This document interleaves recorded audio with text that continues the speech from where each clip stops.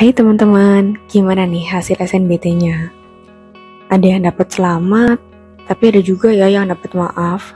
Buat yang udah lolos, selamat ya, you did great. Tapi buat teman-teman yang belum lolos, please jangan sedih. Masih banyak loh jalan-jalan yang lain.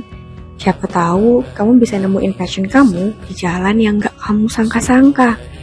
Kesuksesan kan gak cuma dari satu jalur aja.